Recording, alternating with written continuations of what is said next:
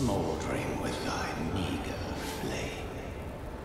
Cower in fear of the night. The hands of the fell omen shall brook thee